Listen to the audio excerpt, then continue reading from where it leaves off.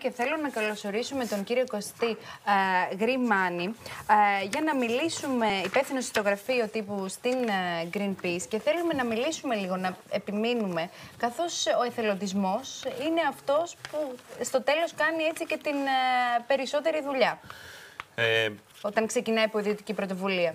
ναι, ε, να μιλήσω. Ε, Πρώτα απ' όλα δεν είμαι ο υπεύθυνος τύπου της Greenpeace. Είμαι ο υπεύθυνος εκστρατεία για την κλιματική δικαιοσύνη.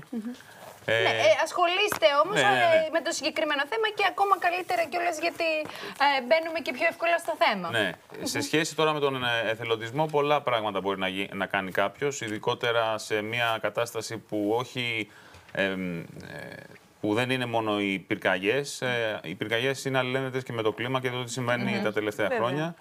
Ε, εννοείται, όπως είπε και ο προλαλήσαντας από την εθελοντική ομάδα του ημιτού, ε, μπορεί να ε, μόνο ε, ο κάθε πολίτης μόνος του να οργανωθεί σε συλλογικότητες, ε, να αρχίσει να ενημερώνεται για πράγματα των οποίων, ε, τα οποία τον αφορούν. Ε, ε, μην ξεχνάμε ότι αυτά τα φαινόμενα τα οποία βλέπουμε εντείνονται ε, κάθε χρόνο και περισσότερο, άρα η ενημέρωση πλέον δεν φτάνει. Εμείς Πολύ γρήγορα θέλω να μας πείτε και για το Αμαζόνιος. Είναι ένα τεράστιο θέμα, ένα πρόβλημα που αφορά όλο τον πλανήτη. Ακριβώς. Τι σημαίνει και τι μπορούμε να κάνουμε. Σημαίνει ότι ε, καίγεται ένα από τα μεγαλύτερα οικοστήματα του κόσμου που παρέχουν περί το 20% ε, του οξυγόνου που αναπνέουμε και είναι ο μεγαλύτερος αποταμιευτήρας διοξιδίου του άνθρακα, το οποίο σημαίνει ότι ό,τι προσπάθεια γίνεται αυτή τη στιγμή σε σχέση πο- με πολιτικές για να ε, αναστείλουν αυτή την, ε, την ε, αύξηση της ε, πλανητικής θερμοκρασίας και να την διατηρήσουν στον 1,5 βαθμό, ε, πάμε αρκετά βήματα πίσω. Ο κόσμος αυτό που μπορεί να κάνει είναι ε, να πιέσει τους, ε, ως ψηφο- ψηφοφόροι, να πιέσει τους πολιτικούς του, να ασκήσουν ε, πολιτικές πάρα πολύ συγκεκριμένες. Μην ξεχνάτε ότι η Ελλάδα έχει υπογράψει τη συνθήκη του Παρισιού για το κλίμα, για τον 1,5 βαθμό. Οπότε ε, και στην Ελλάδα αλλά και στις υπόλοιπες χώρες περιμένουμε από τους πολιτικούς να αναλάβουν δράση. Τώρα σε ατομικό επίπεδο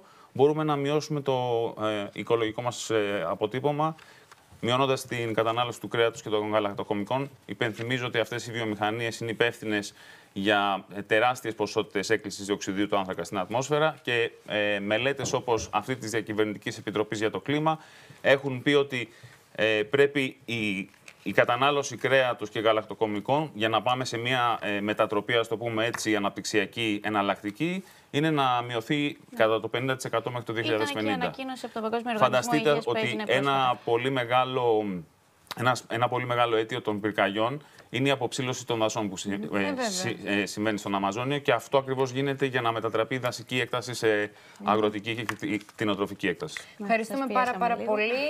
Ε, με έτσι όσο μπορεί ο καθένας να προσέχει, καθώς η ιδιωτική πρωτοβουλία, ε, είπαμε, είναι και η πιο σημαντική.